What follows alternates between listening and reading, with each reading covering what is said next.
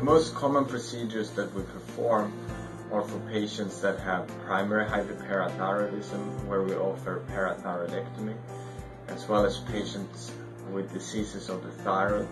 Uh, that could be either Graves' disease or what we call uh, multinodular goiter, or more increasingly, uh, patients with thyroid cancer. For these patients, uh, the surgery is by far the most important part of the treatment, and, and in cases where the cancer has spread to lymph nodes in the neck, uh, we also have expertise in performing neck dissections.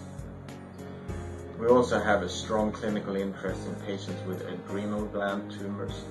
This can either be functional, meaning they're hormone producing, or non-functional.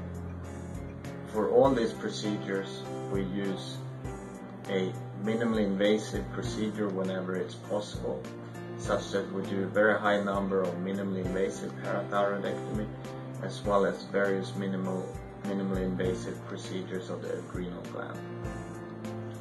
Here at Yale Endocrine Surgery, we also have a number of both clinical and research collaborations with the best programs throughout the world.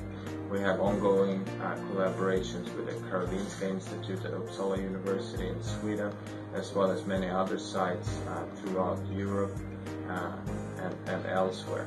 Uh, this enables us to be at the very cutting edge, both in terms of our clinical care, but also in our research efforts.